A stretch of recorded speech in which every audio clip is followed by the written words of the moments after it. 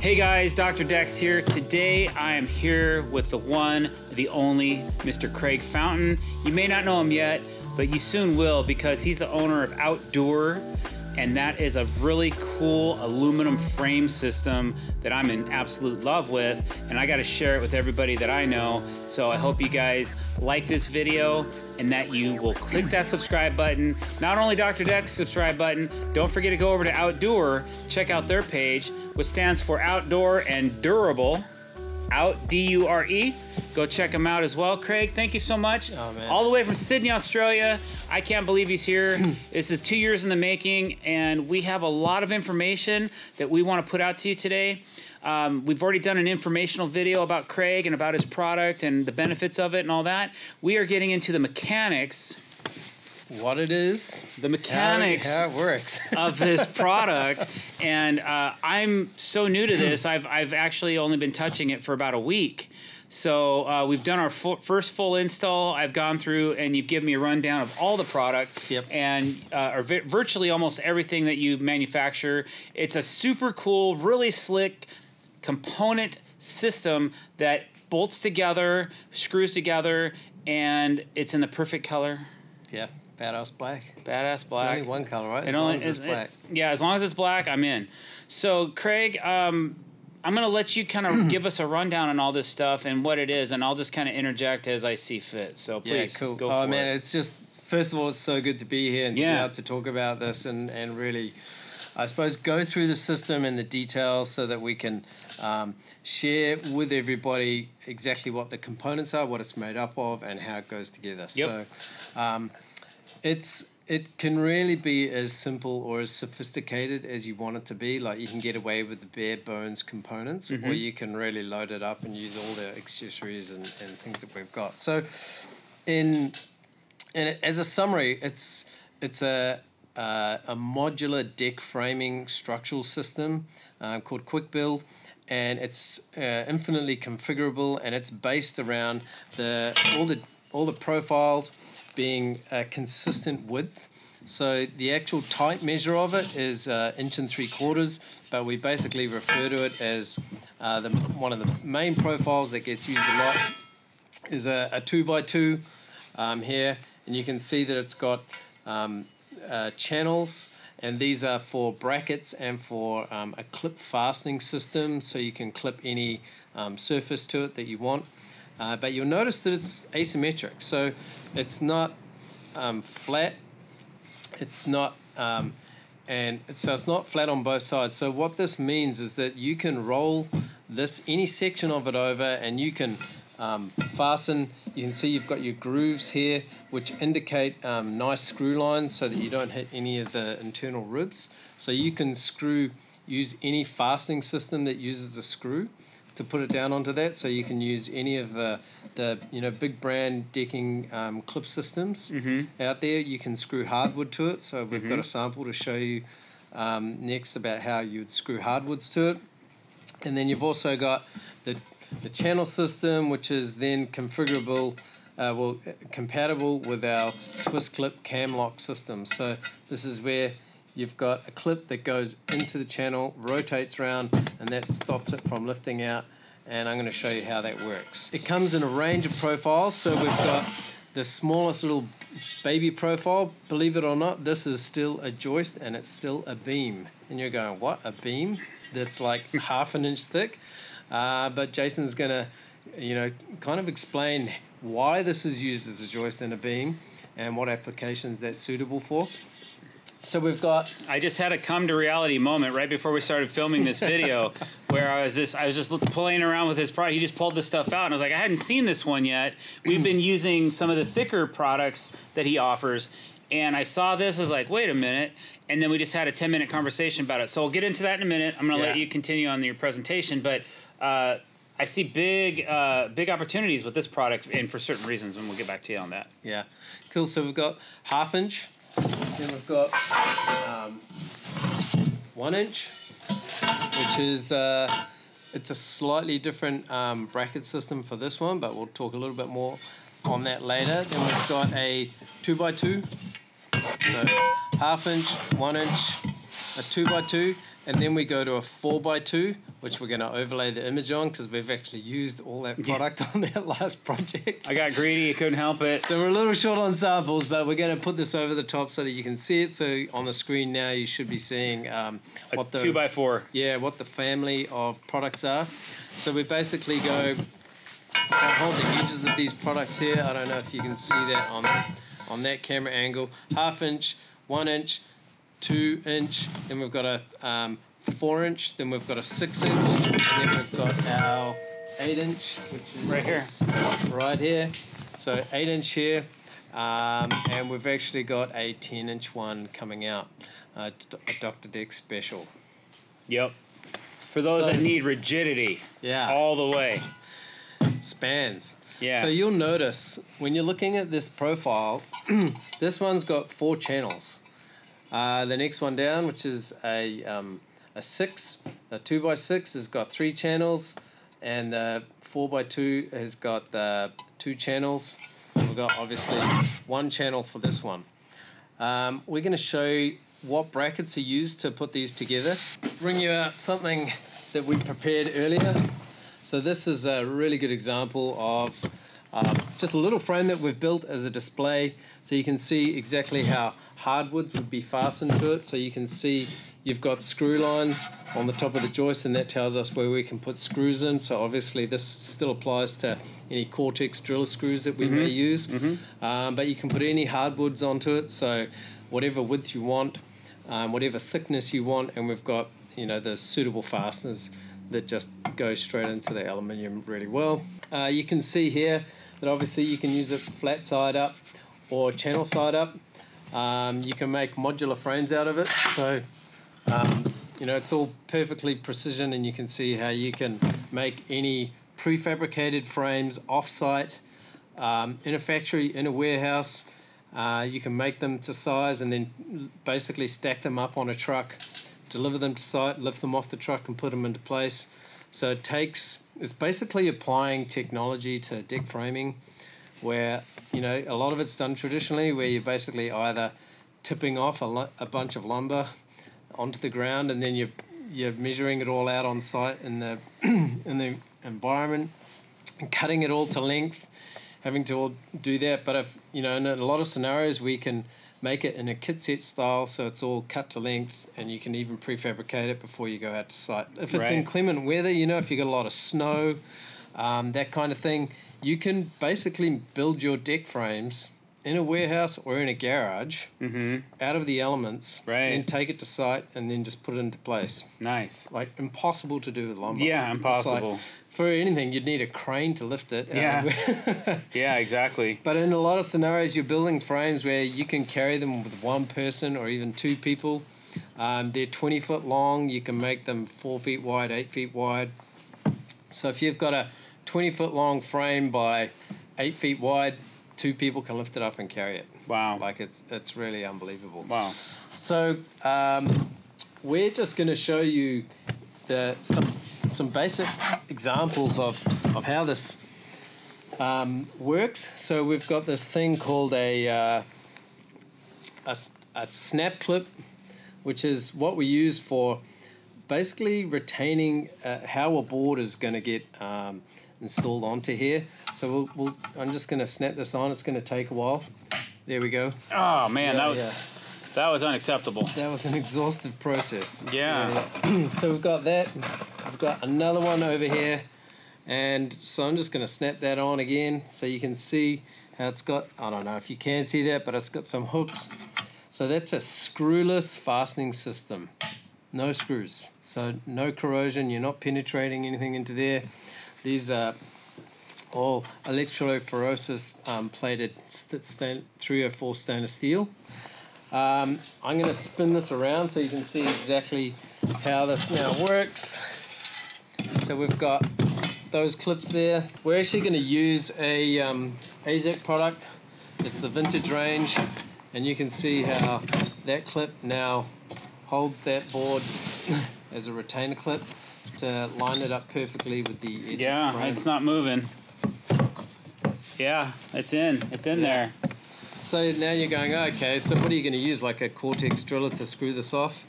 Well, you don't actually have to. We've got another. Now, Cortex Driller is a special screw that FastenMaster makes that is designed to penetrate metal and steel and aluminum joist systems where you're screwing through the deck board and right into the aluminum product and it locks it down and then you Yeah. just tr- it's a traditional Cortex plug that you go on top of. And it works a treat.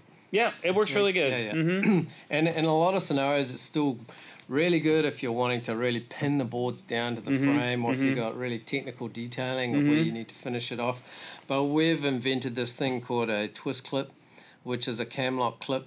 Now, I'm just going to show you how this goes in. It takes quite a lot of effort. You push it into the channel and then you use your hand, Wrist. you rotate it around, Oh, and then you might have to slide it right in. sometimes I use my foot instead of my hand. Yeah, After they're in, you can just slide them with your feet. Yeah. You don't have to bend down every time to, to move one over. so we're going to try another one. Are you sure? Yeah, in case you didn't quite get it. So Okay. push it in, rotate it, slide it in. Hmm. And you're going, okay, well, that doesn't. Okay, check it out though. check this out. So here here it is. Okay. It's locked in. This board it's not going anywhere. Okay? You cannot pull it up because it's locked into these channels, Mm. I'm just going to slide that next board in. right? You got a perfect quarter inch gap. Yep. And I'm pushing from the bottom of this board and it's not moving. So should we put a couple more in? Yeah, put a couple more in. Right, so there you go. Wow. And so what we were doing the other day was we were installing five boards, then using our deck clamps to make sure everything's nice and straight, and then you put a set screw in your fifth clip that's on the outside of the five boards, or maybe it's your sixth clip, but then you pin that to the inside of the track, and then those five boards are locked for good. And then you just lay another five boards and do the same thing over and over, and it's very fast. Like we laid 250 square feet of decking in less than three hours, Yeah, and we were taking our time. yeah. And A we had we had some we had some yeah lots of lots of social media interactions in between all that because we were filming. So uh, if you're focused and you're just trying to go for speed, for all you production guys out there, you might want to consider this system when it's available, which will Yeah. be In about September 2022. September? If not Awesome. earlier. We've got some product in the States, but in terms of actually. yeah, like be able like where can I get a doctor, kind of thing. Yeah. Uh, we'll, we'll be giving you updates if you follow us on social media. Follow me at Dr. Decks on social media or Outdure Living on uh, Instagram. Yeah. And we will be keeping you guys informed of when this system is actually going to be fully available in the states. Yeah. So, okay, Craig, this is in my world. Yeah. You just you just hit a grand slam. Yeah. Okay, that means it's a home run with three men on base, so four people Yeah, yeah, score. yeah. Okay. Nice. Yeah, I don't know if you're familiar with baseball yeah. terms, but um, and this is beautiful. It really is, and and I'm not just saying that because I just did it, and I really because I do a lot of hidden fasten decks. Yeah. But it's just a beautiful system. It's not just the overall finished look; it's what's below it, the skeleton, everything about it. But uh, what else can you do with your system besides just laying deck boards on it? Yeah, yeah, for sure. So, one of the beauties of the system is that it's multi-surface, right? So you Mm-hmm. can do decking boards, you can do tiles, you can do turf. Mm-hmm. Uh, but not only that, we've we've developed um, an access ventilation grate system Mm-hmm. and anti-slip. Okay. So it gets used in a lot of applications where you need um, either access to something underneath, or you want to get a hose in there and clean it out. Mm-hmm. Sure. In, in your gutter, you've got downpipes, you've got leaves that are getting under underneath Mhm. the deck in, a, in a low height environment, Sure. maybe over a Yeah. waterproof membrane where you want to clean it out. But in a lot of um, bars and restaurants and things like that, where they've got a lot of beer getting spilt onto the deck and it starts to smell, Mhm. they want to be able to wash it out Mm-hmm. a lot. So Yeah. um, we, so if I just take these off, you're going to see. Um, ah, just by the way, on this clip, you're probably wondering, okay, well, how do you control the board for expansion and contraction? Mm-hmm. So you can either use the Cortex driller and go through and pin the board wherever you want, just to control it. So if you pin it at one end, obviously the We, expansion. we actually pin the outside edges of the boards on 20 foot boards. We just Yeah. pin the ends. Yeah, yeah, perfect. Or you can use the hole in the clip there so that you can actually, and it comes with the screws uh, to screw through into the board this way through the clip, and that actually pins the board in that place and controls expansion and contraction because that clip can't go left or Hmm. right. So you've got a couple of options of, of how you want to pin the board. Uh, actually, you might also be interested in what it looks like from the top in terms of what you actually see. So, you know, you, you the clip is really nondescript. It's black. It's not shiny. You're not going to see it, um, and it's not noticeable. It's fantastic. So if I take this out, and um, this is the solution that we've designed. It comes in black and silver, and it's called a quick grate. Uh, the idea being it's quick to install and it's quick to lift up and And it's great. yeah, and it's, it's fantastic. Yeah. So you got these um, a snap mount, and the reason why we call it a snap mount is that you'll see is that that grate just snaps into it. So you slide those into the channel of the of the profile. That actually then gets screwed down into the channel, and this edge holds that board down. So it's like having another clip that's holding the board down. And then all I do is I take the grate, and then it perfectly lines up, and then snaps into place. That's why it's called a snap mount. Right. And what I noticed earlier, I was playing around with the width, and it's very, very close to the same exact width as the AZEK deck board. So you can even do applications where maybe you don't need the whole run of your decking to be great, but maybe you need some access points, and you can actually trim this where Yeah. you can put uh, decking and the grate in the same run. But uh, either way, it's extremely good looking. While we're here, we may as well show this component here, which is you're going, man, that's a funky design. What does that do? This is what we call a double joist bracket. So exactly what the doc was just showing us in terms of you want to add on and, and make a butt join there between the grate and the decking board. I can literally just do this, snap that on. I'm going to pull this board over here so that you can actually see it and make sure it's in shot. I just literally stick this in here and then go snap that in. And you can see now, if you just remove that, I'm going to put a double clip in there so mm-hmm. it's held down there Yep. and there. Yep. Now you've got that decking board going in there. And then I'm going to put another clip here like that, there, and then this grate is in there like so. And now we can actually start off and put another decking board in here, and you've got that. So awesome. you've just created a double joist without having to go in and actually cut a short length and nail it off, Yeah, that's bolt awesome. it in there. I love it. So to show you what this now looks like, is that if we just put another board here, you can see that that's the finished finish between decking board grate and decking board. Now I can actually get a tool in there and I can pop the grate out. Mm-hmm. So That was you've my got next question, All yep. finished there. Mhm. You can either get a hose and try and squirt through there, or you can actually pull the whole grate out. You can access taps, or electrical services, or clean out your gutters and your sumps, and your Mhm, downpipes mhm, that are all filled out with leaves. Yep, all that good stuff. Get that in there. Now the next one we've got is uh, gets used a lot for commercial applications or for um, say you've got a ramp or stair treads where you're wanting, you know, really non-slip environments. So I just put this in here. I've got my clips, all the same clips that hold it down. And there you go. So this comes in black and silver. This is a 3M product um, that we've developed and put onto. Well, we haven't developed the 3M product, but we've developed how we adhere it onto our um, anti-slip strip, so that now you can put that in ramps, stair rises, anywhere where there's like you get ice build-up, snow, Mhm, that kind of thing, mhm. and you want extra super traction. Yeah, Um, it's fantastic for that. unique. So you can almost, in, in a lot of situations, we're using this every other board.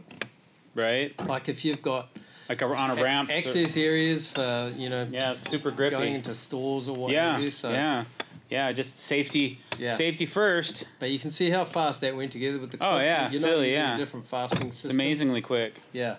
So you've got that, right? Mhm. So we've just shown you the decking board. You've got hardwood, you've got composite, you've got your access ventilation grates, you've got um, the anti-slip strip. Now your next option is um, I'll just get rid of these. You're like, what's this? it's like black spaghetti. So we've developed uh, EPDM. Um, it's an extruded product that we use, and it's called a rubber isolating bead. So what it does is it beds into the channel, like so. Fits in just like butter, and uh, you can see here what that does is it creates a really nice surface for a structural tile Mm. to come along, and we can put the structural tile on there. Wow. What you don't want is tiles on aluminium because that's going to sound terrible. Yeah, it's going to yeah. make a terrible sound. So, but we've got um, this product now allows us. We've got a half clip, so it's a one-sided Hmm. clip Okay. that then goes into here so that I can now lock off that board.